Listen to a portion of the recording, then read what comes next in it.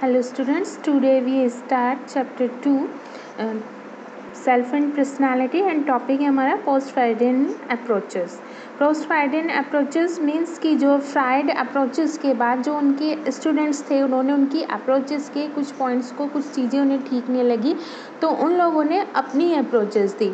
तो उसमें वो उनके फॉलोवर्स भी थे कुछ कुछ उनके स्टूडेंट्स भी थे यानी उनके साथ कुछ काम किया था। फ्रॉड फ्राइड अप्रोचेस की कुछ विशेषताएँ हैं less promotive to the sexual and aggressive tendency of the id expression of the concept ego emphasise on human quality of creative and competence ये हम जब जानते हैं कि फ्राइड की जो थ्योरीज थी, वो मोस्टली सेक्सुअल बेस थी एड ईगो कंसेप्ट पर बेस थी बट वहाँ पर creativity competence and problem solvings थोड़ी कम थी। तो उस चीज़ को बेस बना के इन लोगों ने अपनी अप्रोचेस दी। तो इसमें फ़र्स्ट है कॉलजुंग कॉलजुंग की जो अप्रोच थी, उसका aim and aspiration of the source of energy इन्हों की सा human being as a guided by aims इन्होंने देखा है कि जो पर्सन जो है, अपने एम और एस्पिरेशंस के बेस पर गाइड होता है। फिर उन्होंने एनालिटिकल साइकोलॉजी का कंसेप्ट दिया। एनालिटिकल साइकोलॉजी यानी personality consist of competing force and structure within the individual यानी कि एक पर्सनैलिटी जो है, एक पर्सन जो है, एक ऐसे फोर्स और एनर्जी रखता है जो उसको बैलेंस करके चलता है उसकी डिमांड और सोसाइटी के बीच में, यानी रियलिटी के बीच में कि ट्रुथ क्या है, सही क्या है, गलत क्या है। एक कलेक्टिव अनकॉन्शियस कंसिस्ट होता है जिसे एर्कोटाइप बोला जाता है या पैराडामिकल इमेज जो किसी इंडिविजुअल में नहीं होती इनहेरिटेंट होती है बाय बोर्न होती है, यानी कि कुछ ऐसी इमेजेस जो बाय बोर्न ही पर्सनस में होती हैं। Next for the self esteem unity of ones यानी कि जो एक ने माना है, वही सब मानेंगे। गलत और सही को जानना के बेस पर अनकॉन्शियस बेस पर हारमोनी के साथ रहना। नेक्स्ट है Karen Karen Horney Karen Horney की अप्रोच थी वो थी ऑप्टोमिस्टिक अप्रोच अपोजिट अप्रोच इसलिए बोला गया इसको optimistic because optimistic view of human life with emphasise of human growth and self लेक्ट इनकी जो ये, ये थी कि सेल्फ एक्चुअलाइजेशन जो बेस था दूसरा बेस था कि सारी थ्योरीज़ में फ्राइड जो की थ्योरीज़ का जो बेस था वो मैन के बेसिस पर, यानी कि मेल को लेकर उनकी जो रिसर्च थी वो थी। उसमें फ़ीमेल के बेस पर कहीं भी नहीं किया था। तो उन्होंने इस चीज़ को यहाँ पे फ़ीमेल को भी बेस बनाया कि फ़ीमेल्स जो होती हैं उनमें सोशल एंड कल्चर फैक्टर बहुत ज़्यादा इंपॉर्टेंट होता है। और उसी की वजह से उनमें इन्फेरिटी कॉम्प्लेक्स भी होता है सुपीरियर और इन्फीरियर कॉम्प्लेक्स भी होता है, जो कि उनके बायोलॉजिकल फैक्टर्स पर इफ़ेक्ट डालता है। फिर साइकोलॉजिकल डिसऑर्डर्स भी होते हैं, जो कि इंटरपर्सनल रिलेशन जो ड्यूरिंग द चाइल्डहुड बनते हैं, वो भी उन पर इफ़ेक्ट डालते हैं। देन नेक्स्ट चीज़ है when parents behaviour towards a child and different a, दो चाइल्ड्स के बीच में जब पेरेंट्स का बिहेवियर डिफरेंट हो जाता है तो वो पर्सनस के बीच में चाइल्ड के बीच में इनसिक्योर की फीलिंग्स लाता है।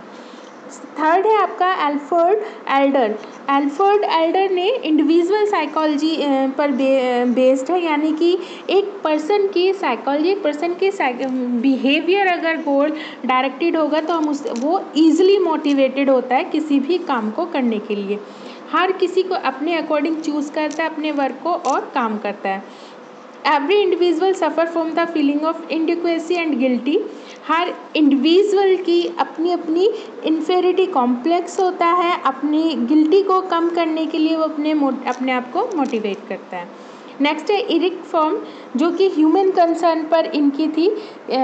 इनके अकॉर्डिंग सोशल ओरिएंटेड होते हैं पर्सनस पर्सनालिटी ट्रेट्स डेवलप्ड होता है। वो ड्यूरिंग द एक्सपीरियंस होता है। कैरेक्टर ट्रेस जो भी होते हैं, वो सब एक्सपीरियंस के बेसिस पर होते हैं। People dominate character traits are given work and force the cultural its यानी कि ये ह्यूमन के बीच में जो भी ह्यूमन के साथ जेनेटिकली चेंजेस आए, वो उनका उनका कल्चरल भी होता है।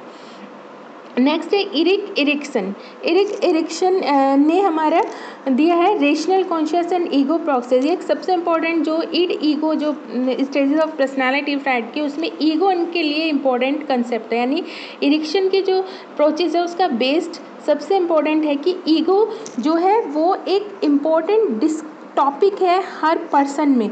उसे ईगो को लेके पर्सन में आइडेंटिटी क्राइसिस भी आते हैं और ये आइडेंटिटी क्राइसिस सिर्फ़ चाइल्डहुड तक नहीं रहते, ये यंग एज तक भी रहते हैं जब तक वो क्राइसिस एक मीनिंगफुल सेंस में ना कन्वर्ट हो जाए।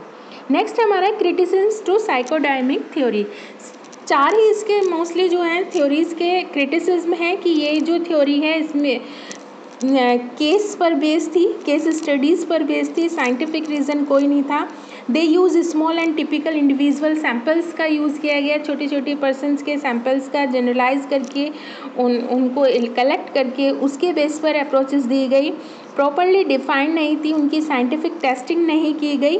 और इसमें जो है मोस्ट इंपॉर्टेंट जो कैरन हार्नी ने भी बताया था कि मेल डोमिनेट थी फीमेल एक्सपीरियंस का यहाँ पर, अभाव था। नेक्स्ट हमारी अप्रोचेज है साइकोडाइनिक पोस्ट और के बाद थर्ड अप्रोच हमारी है बिहेवियरल अप्रोचेस बिहेवियरल अप्रोचेस हमने इलेवेंथ क्लास में भी पढ़ी हैं. बिहेवियर अप्रोचेस क्या है? जो स्टूमलियस के बेस पर, यानी कि रेस्पॉन्स देकर तब हम सीखते हैं. ठीक है? Personality is the response of individual as a sample और advance generalise the concept are not properly defined it is difficult to submit to scientific testing okay Freud has used male as a prototype of human personality development overlook female experience. साथ ही साथ behaviour approaches में हमें classical conditionings जो कि even पावलम ने दी थी जो even पावलम ने डॉग पे एक्सपेरिमेंट किया था वो डिफाइन है ऑपरेंट कंडीशनिंग जो कि बी एफ़ स्किनर ने दी थी रेड फ़ूड यानी कि रिवार्ड एनफोर्समेंट के बेसिस पर, वो भी हम पर्सनैलिटी को डिफाइन करता है। उसके अलावा ऑब्जर्वेशन अप्रोचेज जो है हमारी बिहेवियर का ही पार्ट है, जिसमें बोबोडोल का एग्जाम्पल्स दिया गया था। बोबोडोल को देखकर तीन ग्रुप्स में डिवाइड किया कैसे बिहेव किया गया, उसी के बेस पर कैसे लर्न किया गया।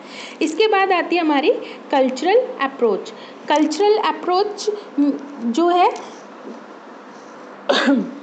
consider personality as adaptation of individual और group to the demand of their सोच कि जो किसी भी पर्सन की पर्सनैलिटी होती है, वो उसकी इकोलॉजी और कल्चर के बेस पर बनती है। A group economic maintenance system play a vital drop of original culture एक पर्सन के आसपास जो ग्रुप होता है, वो उसके बिहेवियर और कल्चर में इंपॉर्टेंट रोल प्ले करता है। The climatic condition the nature of the terrain the habitat of individual food determine people settlement pattern social structure division of labour and other features ये सारे जो फीचर्स हैं, ये सब इफ़ेक्ट डालते हैं पर्सन के लाइफ पर। यानी कि अलग अलग हैबिट रहने पर भी पोस्टल एरियाज़ में अलग अलग होने पर भी ये सारी चीज़ें इफ़ेक्ट डालती हैं। कुछ पर्सनस यहाँ रहते हैं, कुछ पर्सनस को दूसरी जगह भेज दिया गया तो साथ में बर्थ होने के बावजूद जब वो अलग अलग जगह रहे तो उनकी पर्सनैलिटी अलग अलग यानी अलग अलग सिविलाइज अलग अलग कंडीशंस में कल्चर्स में रहने पर अलग अलग डेवलप्ड हुई।